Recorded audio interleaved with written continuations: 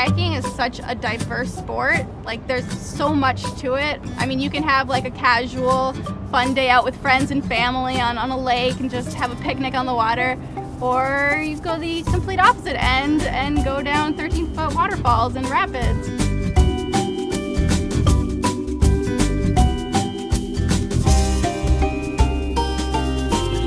So I was born with proximal femoral focal deficiency. So I'm missing my femur, my tibia, my uh, patella, and then the hip on my left side isn't fully developed, so I don't have the ball and socket. So literally the only way that my leg is attached to my body is through muscle and skin. I don't want people to think of me as Kelly with a disability. I just want people to think of me as Kelly.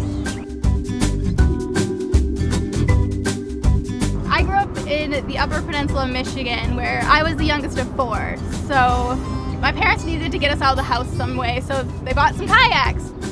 All my siblings are extremely active, um, so it just kind of made sense for me to be active.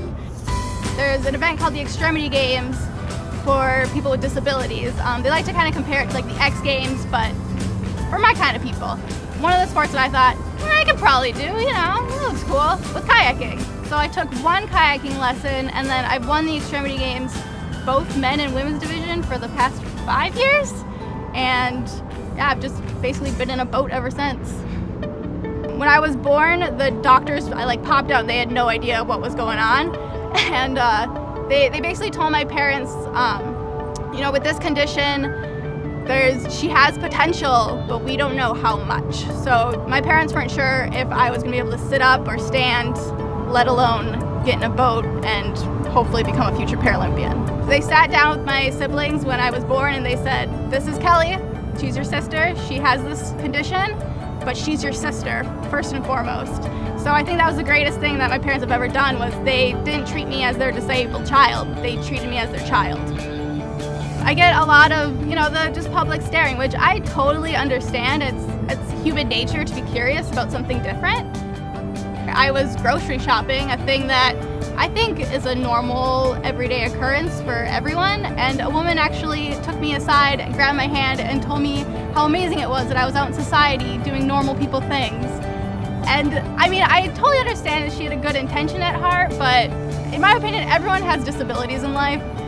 Um, mine is just a little more obvious, and I try to make it a little more colorful, but you know, I just try to look at the positives in life all the time. Because I mean, if I reflect upon negatives, like that would just suck. Like, why, who wants to do that? Just like to be a ball of energy and fun. I would much rather um, like be in a boat having fun than sitting in inside my house crying because I only have one leg. You know, like who wants to live life like that?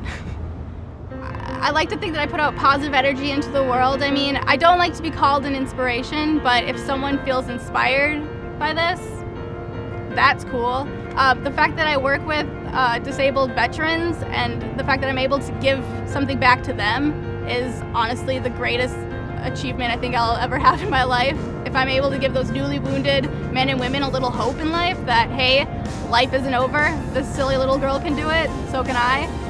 And you know, if I can change one of their lives for the sacrifice that they made for me, uh, I can go to bed happy. I'm a very strong advocate of life is what you make it.